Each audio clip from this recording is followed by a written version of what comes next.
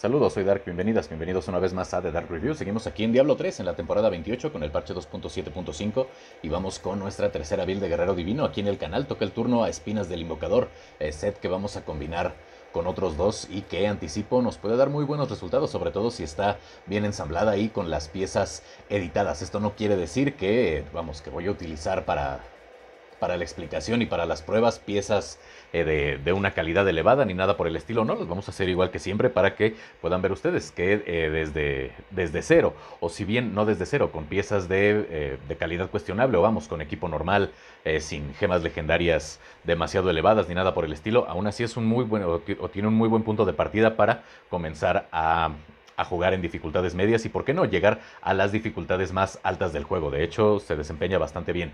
Y también, algo que me gusta de esta build es que puede funcionar muy bien como RGK. Y sí, va a ser una build single target, pero no deja, vamos, eh, a fines prácticos no deja nada que desear. Para no alargar esto más de lo necesario, vamos a comenzar con las acotaciones de siempre. Primero vamos a hacer nuestras pruebas en Tormento 16. Principalmente esto es importante para la fisura Nefalen. Pueden ver ustedes en la parte superior izquierda de la pantalla que ya nos encontramos aquí en Tormento 16.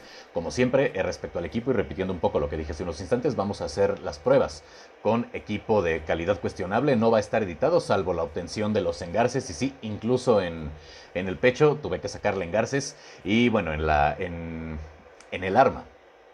Aquí no le saqué el engarce, de hecho se lo quité, pero bueno, ya, ya, explicaré por qué lo hice, aunque seguramente ya lo saben ustedes. Y finalmente los puntos de Paragón vamos a utilizar como siempre solo 800, pero eh, aquí anticipo que esta build es un poco atípica. Sale de lo convencional y tan sale de lo convencional que no vamos a llevar absolutamente nada de Paragón en fuerza, pero aún así va a hacer bastante daño. En fin, dicho lo anterior, vamos a comenzar a explicar. Ah, es cierto, también recuerden que como estamos en temporada, para este punto ya tenemos desbloqueado por completo el altar de ritos, por lo tanto nos vamos a beneficiar de todos los, los poderes y de las habilidades que, que obtenemos con, las, con la activación de pociones. En fin, vamos entonces con la explicación de las piezas. Empezamos con las bonificaciones de, iba a decir las bonificaciones de corona del invocador, no, las bonificaciones del set espinas del invocador y nos damos cuenta primero que con dos piezas nos dice que el daño por espinas ahora afecta a todos los enemigos en un radio de 15 yardas a tu alrededor. También nos dice cada vez que golpeas a un enemigo con castigo o tajo o que bloqueas un ataque, tu daño de espinas aumenta 90% durante 2 segundos. Este efecto se acumula hasta 10 veces. Quiere decir que, eh, en primer lugar, ya tenemos un multiplicador de hasta el 900% respecto al daño de espinas con la bonificación de dos piezas. También nos dice que nuestro ataque principal va a ser bien tajo o bien castigo, que en el caso de esta build va a ser el, va a ser el tajo.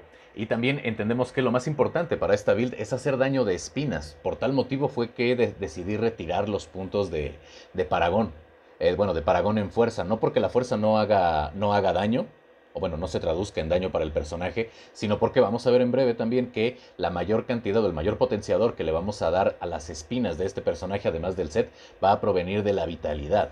Entonces, entre más vitalidad tengamos nosotros, mayor daño de espinas vamos a tener, más va a estar potenciado y por ende, más daño le vamos a infligir a los enemigos. El segundo conjunto que vamos a utilizar nosotros va a ser el guardián, bueno, el riesgo del guardián. Y nos dice, ah, perdón, ya me quería ir yo al segundo conjunto y ni siquiera hemos visto las bonificaciones de 4 y 6 piezas de espinas del invocador. Una disculpa.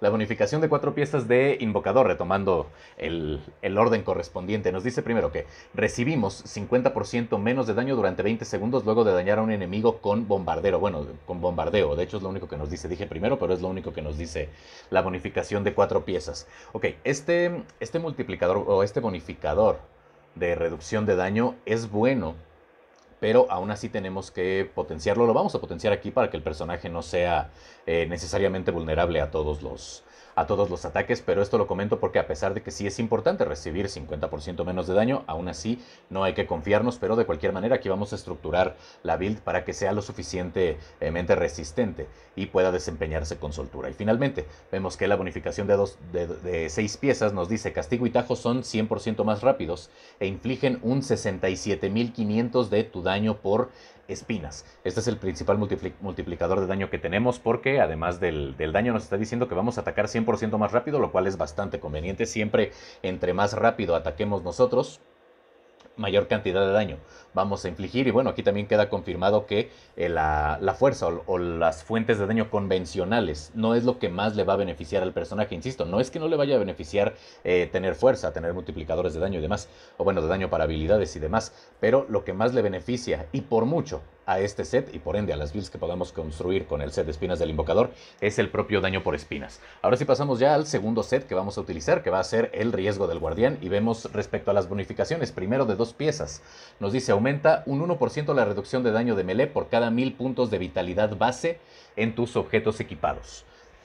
Y bueno, esto es importante porque nos va a reducir daño y es uno de los aumentos que le vamos a dar respecto a la resistencia al personaje. Luego nos dice en el segundo afijo o el segundo afijo o la segunda bonificación de dos piezas que aumenta un 1% la reducción de daño de proyectiles por cada 1000 puntos de fuerza, destreza o inteligencia base de los objetos equipados según la clase. No nos afecten lo más mínimo quitar los puntos de paragón de fuerza porque no los está considerando guardián para sus eh, para los buffs que nos da respecto a la reducción de daño. Simplemente lo que tenemos en las piezas y en las piezas a ninguna le vamos a quitar nosotros el atributo primario. Quiere decir que sí nos vamos a beneficiar eh, por el propio estuche del guardián y también para el personaje, tanto de la fuerza como de la vitalidad. Ahora, las bonificaciones de tres piezas, o la bonificación de tres piezas, mejor dicho, nos dice obtienes 100% más de fuerza, destreza, inteligencia, vitalidad, principalmente para este personaje, fuerza y vitalidad. Eh, base de los objetos equipados. En resumen, va a duplicar la cantidad de fuerza y vitalidad que tengamos en nuestro guerrero divino. El tercer set que vamos a, a, utilizar pues va a ser un viejo conocido, es decir, el paseo infinito, que nos dice en resumen, mientras nos movamos recibimos 50% menos de daño, bueno, hasta 50% menos de daño. Y mientras no nos movamos, vamos a infligir hasta 100% más de daño. Dicho lo anterior, vamos a comenzar con la explicación de cada una de las piezas. Como ya es costumbre aquí en el canal, comenzamos por el yelmo, que va a ser la corona del invocador y la vamos a buscar nosotros con fuerza, vitalidad, probabilidad de golpe crítico y muy importante aquí, un diamante para la reducción de recuperación de habilidades. Y aquí tengo que hacer énfasis en la reducción de recuperación de habilidades porque como se pudieron dar cuenta, no vamos a llevar escarlata y anticipo, tampoco vamos a llevar gogok de la presteza y tampoco vamos a llevar el anillo zodiacal de obsidiana. El gogok de la presteza no lo vamos a llevar porque nos beneficiamos más eh, de, otra gema en términos defensivos. Y el anillo zodiacal de obsidiana no lo vamos a utilizar porque básicamente vamos a estar golpeando con una habilidad generadora y el, y el anillo de zodiacal de obsidiana creo que dije grandeza real, perdón. El anillo zodiacal de obsidiana solamente funciona con habilidades que gastan recurso. Entonces, eh, tanto en el casco vamos a llevar nosotros un diamante para reducir el cooldown, como lo vamos a incorporar en todas las piezas en las que sea posible eh, añadir este afijo de reducción de recuperación de habilidades. Esto para activar nuestras habilidades más rápido, claro está, y sobre todo para tener nuestra pasiva de supervivencia y los otros beneficios que nos da la habilidad eh, campeador de Akarat. Pasamos ahora al pecho y esta va a ser la primera pieza que no es de conjunto y aquí, independientemente de, de las que utilicemos, no podía ser de conjunto porque espinas no tiene pecho. Entonces vamos a llevar nosotros el corazón férreo. ¿Por qué vamos a llevar nosotros el corazón férreo? Porque el afijo legendario nos dice que obtenemos una cantidad de espinas equivalente eh, al, bueno, hasta el 300% de nuestra vitalidad. Esta no es particularmente buena, la obtuve con el 253%, pero como sea, aquí nos estamos dando cuenta que nuestra vitalidad va a potenciar la cantidad de, espinas y el propio set potencia el daño por espinas. Entonces, por esta razón es importante eh, tener la mayor cantidad de vitalidad posible para el personaje, ya que se va a traducir también en daño por espinas. Respecto a los afijos, vamos a llevar nosotros fuerza, vitalidad, incremento de daño para bombardeo, porque sí vamos a utilizar el, bombardeo, que también nos va a ayudar con espinas. Y sobre todo vamos a buscar espinas en esta y en todas las piezas. Aquí en esta podemos ver que la obtuve con 5.439 puntos de daño por espinas, lo cual no es, no es nada despreciable. De hecho, el corazón férreo siempre lo obtenemos por espinas, pero en caso de que tengan alguna pieza que no lleve espinas, eh, vamos a tener que buscarla. y en realidad también en el casco vamos a buscar que tenga espinas y si llegamos a obtener algún casco sin espinas, pues vamos a tener que roleárselo, lo cual no es, eh, no es que sea una desventaja porque en realidad todas las piezas de invocador las vamos a obtener con espinas y la gran parte de las otras piezas de equipo también es posible obtenerlas con espinas. La única en la que no vamos a sacar espinas va a ser en el arma, pero, no, eh, pero para eso vamos a engarzar la gema. Sin embargo, vámonos en orden. Ok, entonces respecto al, al corazón férreo, ya repasamos los afijos, ya repasamos el, el, afijo legendario también, o el poder legendario. Ahora las gemas. Aquí en el corazón férreo y también en los pantalones tenemos que llevar sí o sí eh, amatistas. ¿Por qué? Porque las amatistas en, el, en, en, las piezas de armadura nos van a dar espinas. Perdón, nos van a dar vitalidad.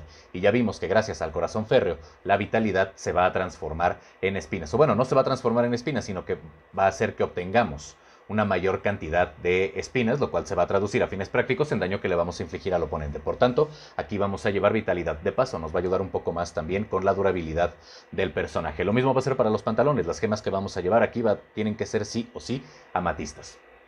Pasamos ahora a las sombreras, que son la carga del invocador. Y la carga del invocador la vamos a buscar nosotros con fuerza, vitalidad, reducción de recuperación de habilidades, incremento de daño para bombardeo y también daño por espinas. Además de las espinas, también vamos a buscar nosotros vitalidad en absolutamente todas las piezas, porque ya vimos que la vitalidad nos ayuda también con nuestro daño por espinas. Pasando a los guanteletes, vamos a llevar nosotros el orgullo del invocador. Y el orgullo del invocador lo buscaremos con fuerza, incremento de daño por golpe crítico, Incremento en la probabilidad de golpe crítico, reducción de recuperación de habilidades y también espinas, desde luego. Pasando ahora al arma principal, que es la única que podemos llevar aquí para beneficiarnos también de la reducción de recuperación que nos da una habilidad pasiva. Vamos a llevar el hachazo. ¿Por qué vamos a llevar el hachazo? Porque nos dice que podemos obtener hasta un 100% de nuestro daño por espinas que se va a aplicar a todos los ataques. Respecto a los afijos, para el hachazo vamos a buscar su medio de daño, fuerza, vitalidad, reducción de recuperación de habilidades y muy importante, eh, utilizar un obsequio de Ramalatni para colocar su engarce y poder colocar aquí un topacio. ¿Por qué un topacio? Porque el topacio en las armas nos va a dar espinas. De hecho, pueden ver ustedes que tiene 38 mil puntos de daño por espinas y esto lo obtenemos gracias a la gema engarzada cuando es de grado 10 como la que tengo equipada.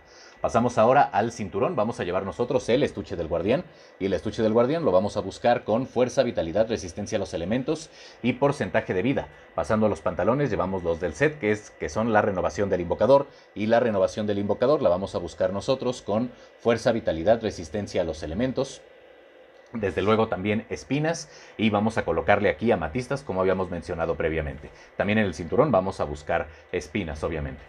Para las botas y finalizar con las piezas que vamos a llevar equipadas del, set de espinas del invocador. Vamos a llevar el fanatismo del invocador y lo vamos a buscar con fuerza, vitalidad, resistencia a los elementos, incremento en la velocidad de movimiento y también desde luego espinas. Pueden ver que en ninguna pieza he potenciado el, el tajo, nuestra habilidad primaria, pero el tajo únicamente, no lo estoy potenciando porque únicamente nos va a servir para detonar el daño o para activar el daño por espinas. Por lo tanto, no lo tengo potenciado y de las gemas tampoco vamos a llevar nosotros la fuerza de la simpleza. Pero bueno, ya llegaremos a las gemas legendarias. Vamos ahora con los anillos. El primero que vamos a mencionar va a ser la rosa de los vientos. La rosa de los vientos la vamos a buscar con fuerza, incremento de daño por golpe crítico, reducción de recuperación de habilidades, velocidad de movimiento, desde luego también que tenga espinas preferentemente y eh, vamos y necesitamos aquí el engarce para la gema legendaria. Aunque eh, bien pueden buscarla con estos afijos que son fuerza, eh, daño de golpe crítico, reducción de recuperación de habilidades y velocidad de movimiento, o pueden sacrificar tal vez la velocidad de movimiento para incorporar vitalidad y que nos ayude también con las espinas. Eh, completando el, set del paseo infinito, respecto al amuleto llevamos el juramento del viajero y este lo estaremos buscando nosotros con fuerza, vitalidad, reducción de recuperación de habilidades, espinas y claro está, el engarce para la gema legendaria. Ya, ya creo que ya se están dando cuenta de las gemas que vamos a llevar. El tercer anillo, el tercer anillo, ándale pues, la tercera pieza de orfebrería y segundo anillo, que es el anillo de grandeza real, es necesario para tener las bonificaciones completas, tanto de guardián como de espinas, lo vamos a buscar nosotros con fuerza, vitalidad, reducción de recuperación de habilidades y claro está, las espinas y su engarce. Ahora pasamos a los brazales que van a ser la versión de guardián. Y los buscaremos nosotros con... Ah, perdón, aquí me, aquí me perdí. Los vamos a buscar con fuerza, vitalidad, probabilidad de golpe crítico, resistencia a los elementos, y también con espinas para que nos ayude con la mecánica del, del personaje. Finalmente, respecto a las piezas de, armadura, vamos a llevar como escudo el punzante botoyas y el punzante lo vamos a buscar nosotros con fuerza, vitalidad, desde luego probabilidad de bloqueo que siempre vamos a obtener porque es un escudo, reducción de recuperación de habilidades y también muy importante espinas. La cantidad máxima que podemos obtener de espinas en el escudo es de 9500 puntos. Pueden ver que este no es particularmente bueno y el principal motivo por el que llevamos el punzante botoyas es que nos dice que los enemigos afectados por incitar van a recibir el doble de daño de espinas. Pasando ahora a las gemas legendarias. La primera y más importante va a ser el va a ser la esquirla de Boyarsky. La esquirla de Boyarsky la vamos a llevar nosotros porque nos dice que, eh, que provoca al primer enemigo golpeado con nuestras habilidades primarias durante dos segundos, lo cual, lo cual es Perdón, lo cual está bien para que se acerquen al personaje porque vamos a atacar a quemarropa. Esto lo obtenemos nosotros al, al rango 25, pero principalmente porque va a agregar hasta 136.000 espinas a nuestro personaje. En este caso, como la gema es rango 109, tengo 103.200 espinas, pero entre mayor sea el rango, claro está, más va a beneficiar a nuestro personaje y esto se va a notar mucho. La segunda gema que vamos a mencionar va a ser la, la rosa de los vientos, ándale pues, el azote del cautivo, esto porque podemos infligir hasta 60% de daño a los, a los enemigos que se encuentren bajo efectos que debilitan el control y a partir de rango 25 vamos a tener una hora de 15 yardas que va a ralentizar 30% a los enemigos circundantes. Y finalmente, en términos defensivos, vamos a llevar la moratoria. Y sí, de hecho va a servir bastante. Es prácticamente vital la combinación de estas tres gemas para que funcione la build como la estructuré. ¿Y por qué vamos a llevar la moratoria? Si es una gema que prácticamente pasa siempre desapercibida, no es que tenga una... Vamos, tiene mucha utilidad, al menos en esta build pero no es que tenga una popularidad exacerbada. Y bueno, eh, primeramente nos dice la moratoria, escalona un 35% del daño recibido y en lugar de recibirlo todo junto, lo recibes a lo largo de 13 segundos. Esto nos ayuda a que el personaje no reciba todo el daño de golpe y esto es muy importante porque a pesar de la reducción de daño que tenemos, a pesar de las cantidades eh, sobradas de vitalidad que vamos a llevar, no es precisamente lo más resistente. Vamos, no va a estar muriendo de un golpe, pero siempre es importante que nuestro personaje resista lo más posible. Sobre todo porque solamente vamos a llevar una pasiva de supervivencia respecto a habilidades y esta va a estar en el seguidor. Entonces, de verdad, Moratoria nos va a ayudar muchísimo a sobrevivir. Y eh, a partir de rango 25 tenemos 20% de probabilidad de eliminar todo el daño demorado al matar un enemigo. Vamos a estar matando de una manera muy, muy sencilla y muy rápida entonces no vamos a tener ningún problema en eliminar el daño, porque estadísticamente esto nos dice que eh, cada 5 golpes vamos a estar, vamos a estar eliminando el, el 35% del daño recibido. Y esta reducción del 35% de daño, insisto, se nota bastante. Pasando ahora a las habilidades y al cubo de Kanai, comenzamos por este último. Vemos que en el apartado de arma llevamos el drama mortal y nos dice duplica los impactos de bombardeo. Y también bombardeo inflige un 500% más de daño. Aquí yo diría que si lleváramos el drama mortal en el cubo de Kanai, no en el personaje, para que pudiéramos utilizar la pasiva de Fervor, que nos va a dar una reducción de recuperación de habilidades del 15%. Por eso había mencionado previamente que el hachazo, al ser un arma de una mano, va sí o sí en el personaje en esta build, y el drama mortal lo vamos a llevar en, el cubo de Kanai. Luego, para el apartado de armadura, vamos a llevar el cinturón del tesoro, que nos dice cada 4 segundos lanza bombardeo a un enemigo cercano aleatorio y bombardeo va a infligir un 500% más de daño. Luego vamos a llevar para finalizar en, la, en el apartado de orfebrería la convención de los elementos y nos dice que obtenemos un 200% más de daño para un único elemento durante 4 segundos. El daño que vamos a hacer nosotros debido a las espinas va a ser daño físico, por lo tanto, cada 16 segundos vamos a tener nuestro incremento del daño del 200% en el daño físico que nos va a ayudar evidentemente con las espinas. Vamos ahora con las habilidades pasivas. Primero vamos a llevar fervor para tener, como habíamos mencionado antes, un 15% de, de reducción de recuperación de habilidades y también un 15% de incremento en la velocidad de ataque al blandir un arma de una mano. Vamos a llevar también fanatismo para incrementar 15% la velocidad de ataque de castigo.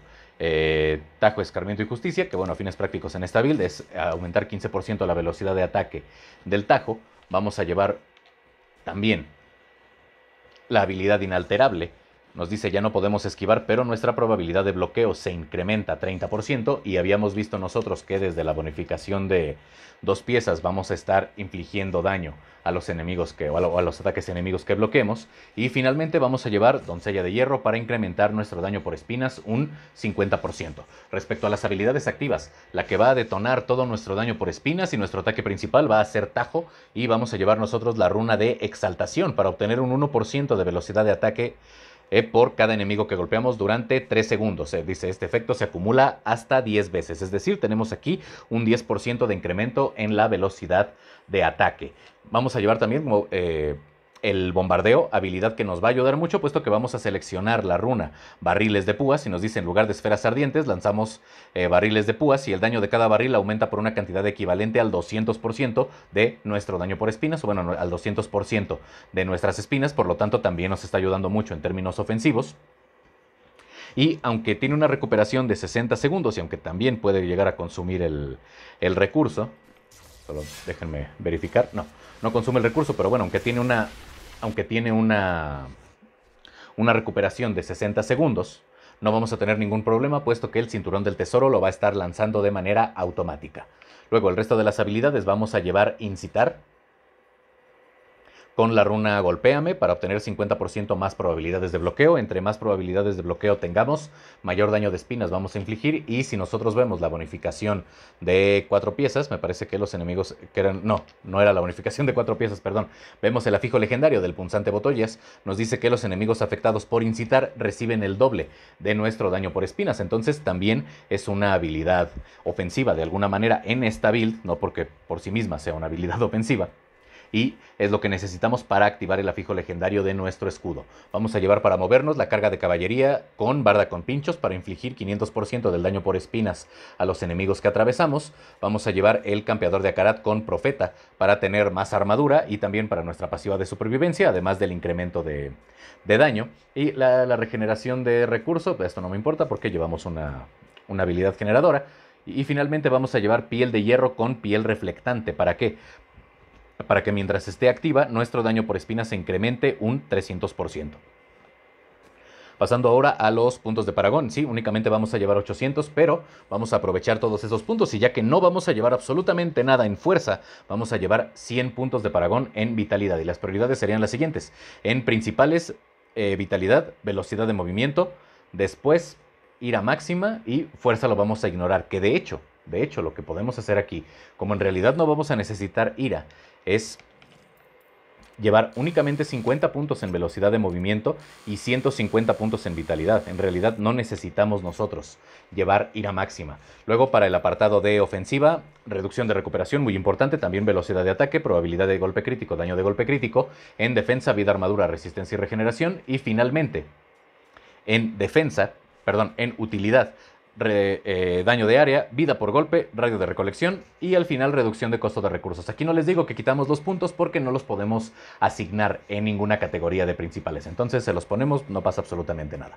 Como seguidor vamos a llevar nosotros a Eirena, la versión inmortal, por lo tanto utilizaríamos como foco el, el tributo humeante para que no pueda morir y la vamos a llevar porque la segunda habilidad, armonía profética, nos va a reducir la recuperación de habilidades hasta un 10%. El resto de habilidades serían pulso temporal para ralentizar enemigos, vamos a llevar también escudo potenciado para ralentizar atacantes de melee y obtener más armadura, y lapso del destino como pasiva de supervivencia. Respecto a las piezas de armadura, recuerden que todas deben de ser de inteligencia y las únicas gemas que vamos a engarzar aquí van a ser topacios, exceptuando el casco porque le ayuda un poco con el, con el cooldown. Entonces en el pecho vamos a llevar piel áurea para obtener un poco más de oro en tormento. Llevamos en los hombros cubre hombros de Sakara para que las piezas sean indestructibles, trueno furioso como arma principal que combinado con el adarve fatídico nos da un 35 hasta un 35% de probabilidad de aturdir enemigos con cada golpe, o bueno, se lo da a Irena. Vamos a llevar guantes de alabanza para que los sagrarios duren 10 minutos, inclusive los efectos de sagrario que activamos con las pociones. Vamos a llevar cinta y cúspide del sabio para tener 250 puntos más de vitalidad y de fuerza principalmente, además de duplicar los alientos de la muerte.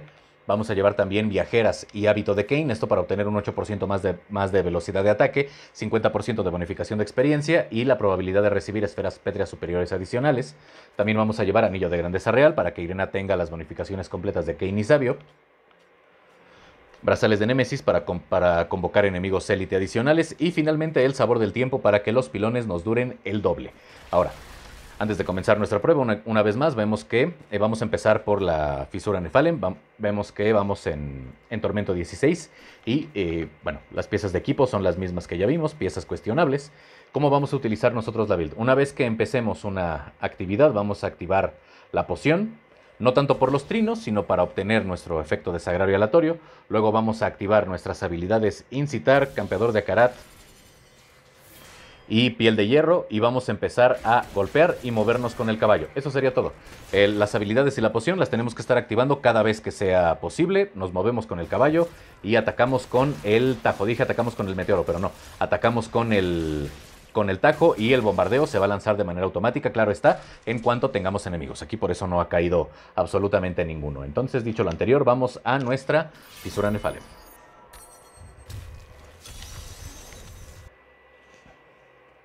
Es muy importante en esta build editar la recuperación de habilidades para que el personaje, sobre todo en términos de movilidad, para que el personaje no se quede quieto por la utilización de la carga de caballería. Y más aún porque no llevamos en realidad ningún potenciador, eh, digamos, de los más utilizados para la recuperación de habilidades. Que en realidad no es que sea tan necesario.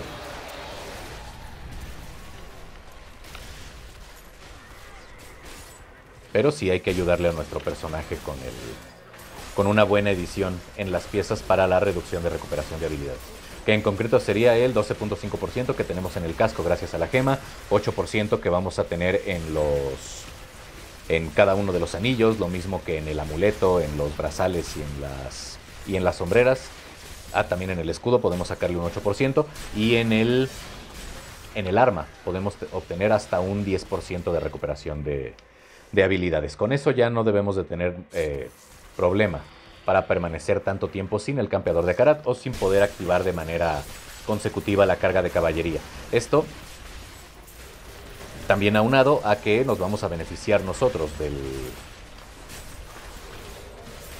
del poder dimensional o del poder, del poder de Sagrario que nos disminuye la recuperación de habilidades y el costo de recursos en un 25%. Y lo cierto es que no es eh, no es complicado que salga. De hecho, creo que fue el primero que salió ahorita que empecé la, la fisura. Es el, segundo de la línea inferior de, las, de los iconos sobre la barra de vida, eh, empezando desde la izquierda. Que parece un, una, persona o un Nefalem con los, con los brazos abiertos y una suerte de cruz o logotipo en el pecho, no sé. Vamos ahora a continuar el avance. Creo que aquí había un pilón. No, es una charca de curación. Pueden ver que en Tormento, como todas las builds que he subido al canal, en realidad no tienen ningún problema. Están muriendo de un solo golpe los, los enemigos. Y posteriormente van a ver cómo también es bastante efectiva para jugar en, en fisuras superiores. Aunque voy a, voy a adelantar aquí que, como para la segunda prueba, no me voy a llevar el, azote del cautivo y principalmente no me voy a llevar la esquirla de Boyarsky.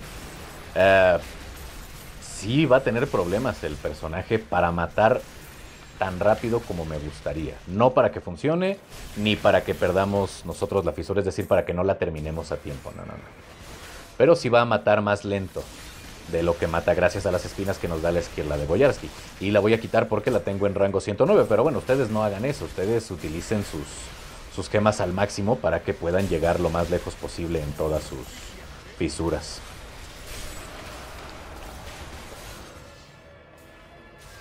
Aquí el, el que tiene que demostrar que sirven las builds soy yo. Y el único demente que debilita voluntariamente y tal vez innecesariamente a los personajes soy yo. Entonces no, ustedes jueguen como es, como es debido.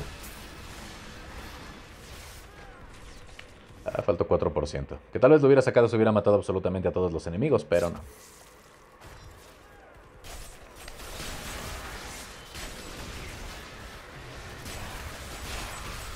El único cambio que yo le haría a la build para jugar como como RGK esto jugando en equipo y claro está, teniendo un buen personaje de, de soporte. Le quitaría la moratoria y le pondría el azote de la afligir. Con eso sería más que suficiente para jugar bastante bien como, como RGK. Ahora, si no, si, van a jugar sin un equipo estructurado, llévense la build como, como le estoy jugando aquí en solitario.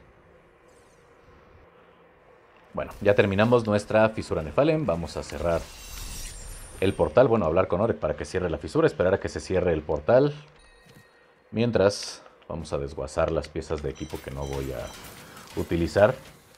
Maldito juego. Me costó mucho material que me diera una luz oscura cuando estaba haciendo el, cuando estaba haciendo la build de Égida del Valor y ahora, y ahora me la da así nada más. Y no es la primera. Pero bueno, una vez más, mientras se cierra el portal, solo 800 puntos de Paragón, que aquí quitamos los puntos de ira máxima, quitamos los puntos de fuerza y le dimos 150 puntos a vitalidad. Las habilidades son las mismas que ya habíamos visto y las piezas de equipo, aunque aquí sí voy a utilizar las gemas, son las mismas que ya vimos varias veces, es decir, piezas normales, sin edición Y sin nada que en realidad le dé una ventaja exacerbada al personaje. Se acaba de cerrar la fisura y vamos a abrir nuestra fisura a nivel 100. Bueno, se cerró la Nifalem y abrimos la superior. Como habíamos dicho antes, activamos poción, activamos el resto de habilidades y empezamos a golpear. Así de sencillo. Pueden ocasionalmente activar el, el, bombardeo. La costumbre que yo tengo con esta build es activar un bombardeo al inicio. Simplemente para quitarme de encima a los primeros enemigos mientras empieza mientras empieza a golpear, mientras activan los buffs, etcétera, etcétera, pero nada más al inicio, ya después no es necesario, que igual si lo quieren hacer no pasa absolutamente nada, de cualquier manera se está, se está lanzando automáticamente con nuestro, con nuestro cinturón.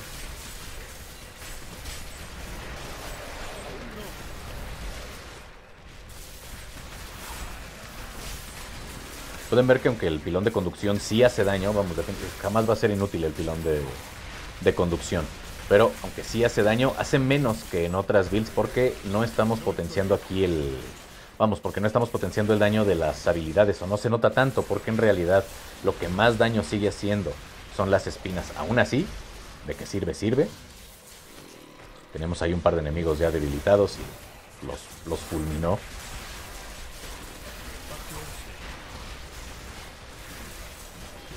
Y bueno, lo único que debemos hacer es continuar avanzando. Y aunque pareciera, aunque pareciera que vamos avanzando de una manera medianamente lenta, en realidad no, es, no estamos teniendo problema para avanzar con nuestra barra de progreso. Pero para que vayan todavía más sobrados respecto a la velocidad del, de la progresión. Es por eso que es importante que tengan bien editadas sus piezas respecto, insisto, a la, a la reducción de costo de no, a la reducción de costo no, a la reducción de recuperación de habilidades para que la carga de caballería se active con más frecuencia. Pueden ver también cómo aunque el personaje está recibiendo daño, en realidad, salvo los enemigos volcánicos, no me he reposicionado para nada. Para eso es para lo que nos sirve la moratoria. Hice incluso pruebas con el... Hice pruebas con la molleja de bestia volcánica y no, el sobreescudo no, no era tan efectivo como la reducción de daño y la eliminación del propio daño que nos da la moratoria. Hice, la prueba, hice prueba también con el azote del afligido y aunque sí, sí nos ayuda el daño, lo cierto es que el personaje a veces muere. Y si muere tenemos que juntar otra vez los buffs que teníamos, otra vez este, los efectos de sagrario aleatorio y a fines prácticos conviene más sobrevivir. Se notan más todas las ventajas que obtiene el personaje si permanece con vida que si está que si está muriendo o que si muere un par de veces a lo largo de la, de la fisura. Por esa razón es por la que elegí la, la moratoria. Y si ustedes se encuentran todavía un tanto escépticos respecto al uso de esa gema, denle la oportunidad. Denle la oportunidad a esta build utilizando la moratoria y les garantizo que no van a que no se van a arrepentir.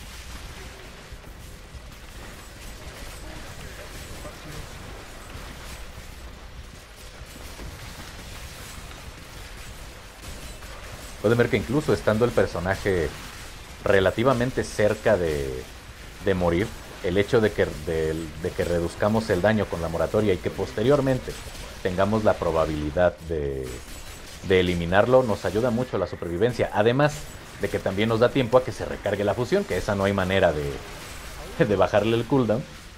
Al menos no con el guerrero divino. Y con eso pues ya garantizamos que nuestro personaje no muera. Sí ha saltado la pasiva del, de Irena, pero no ha saltado la del personaje, que es la que obtenemos por el campeador de Akarat. Porque recordemos que en las habilidades pasivas en ningún momento nosotros colocamos la pasiva de, de supervivencia.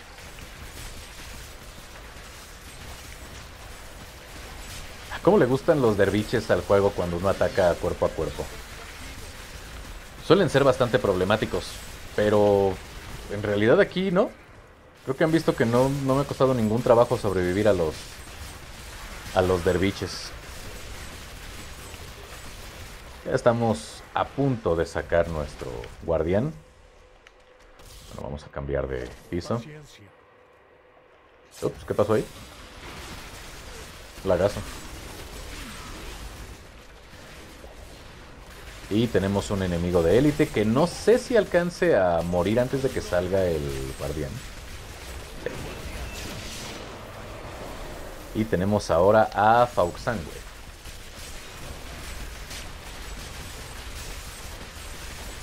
Que murió bastante rápido. Y si jugamos en equipo, insisto, con, un, con una escuadra bien estructurada y le ponemos el azote del afligido, todavía más rápido va a matar al, al guardián de la fisura, por lo que sí, sí funciona para jugar en equipo como, como RGK. Muy bien, lo matamos bastante rápido. Voy a subir mi susurro de expiación. Que antes de que se pregunten Dark, porque carajo está en nivel 82, si es fácil sacarlos en nivel 125. Sí es fácil sacarlos en nivel 125. Pero como se me acabaron las gemas legendarias que subir, entre... Bueno, gasté un grito petrificado y me quedé quieto hasta que me morí. Nada más para sacar la gema en nivel bajo. Y aún así, con las espinas, logró quedar en nivel 40.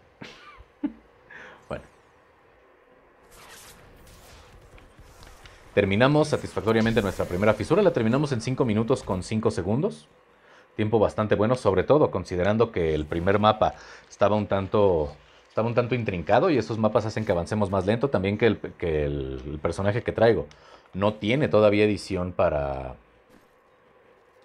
para recuperación de habilidades y no pude activar tan seguido como me hubiese gustado la carga de caballería y aún así la terminamos bastante rápido. Eh, es más que evidente que como tenemos una build single target nos vamos a centrar nosotros en grupos bastante compactos de enemigos para estarlos golpeando de una manera más constante y principalmente en enemigos de élite para avanzar rápido, pero aún así creo que nos fue bien. Vamos ahora a llevar a cabo el acto suicida para el personaje que representa retirar el azote del cautivo, también la esquirla de Boyarsky porque están en más de rango 100. Va a llevar únicamente la moratoria porque está en el límite, en rango 100, bueno, el límite autoimpuesto.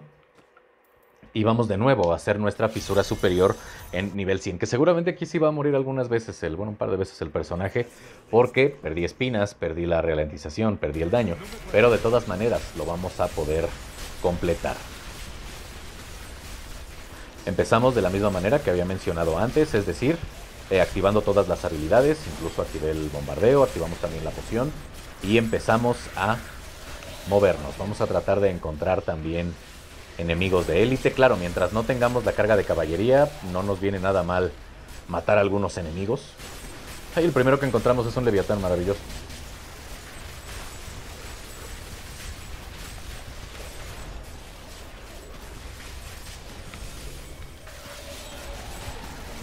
Listo, ya murió el, enemigo de élite. Y continuamos nuestro avance. Aquí tenemos otro, otro enemigo de élite, otro enemigo raro. Se activaron aquí las dos pasivas de, de supervivencia, que también recuerden, entre más rápido maten a los enemigos, menos los van a golpear, por ende, menos daño van a recibir.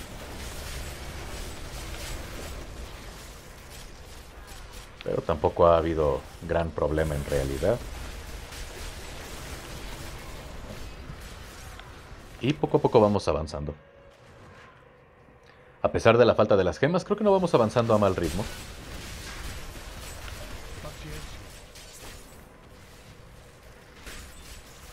Uy, aquí tenemos tres y con cadenas ígneas. Ups. Aquí se juntaron demasiados enemigos.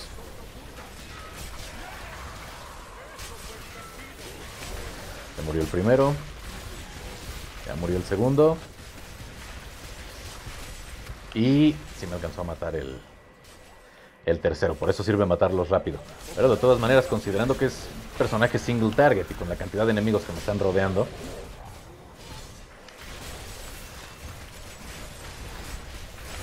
no es, creo que no está nada mal la, velocidad a la que va matando a los enemigos.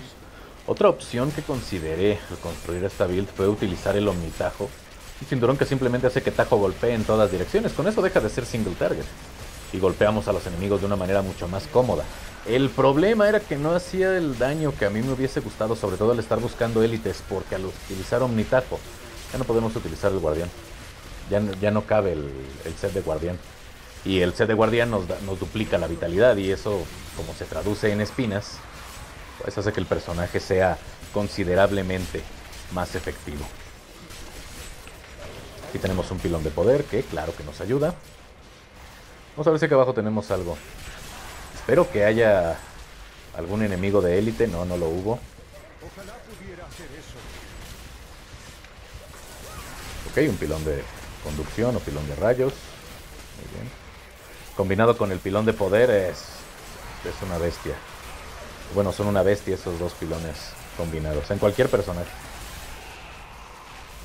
Esto nos va a ayudar a avanzar ligeramente más rápido. Aunque tampoco es que el personaje no hubiera sacado suficiente ventaja. Pudieron ver cómo teníamos alrededor de, no sé, unos 3 minutos, 3-4 minutos de ventaja aún así.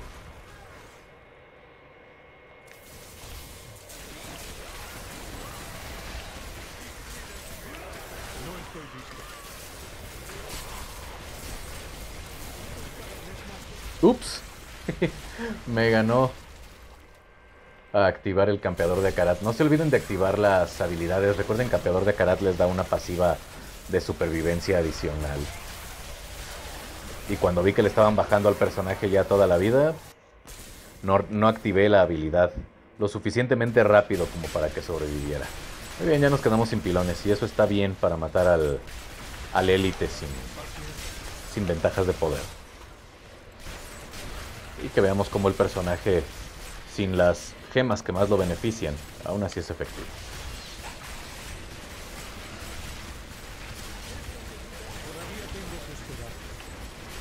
Ups.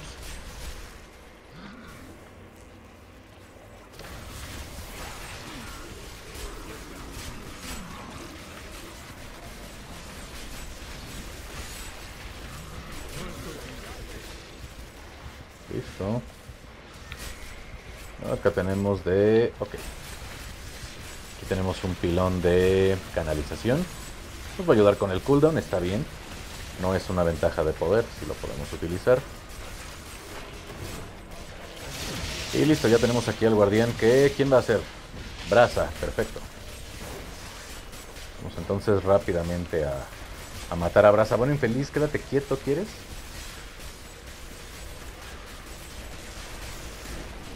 Y listo. Murió bastante rápido, ya no teníamos las bonificaciones de poder, es decir, ni el pilón de poder, el de la espada y el de rayos. Y aún así lo matamos bastante, bastante rápido. Vamos entonces a recoger el loot. ¿Dónde estás, Urshi? Aquí estás. Y a subir nuestra gema de turno.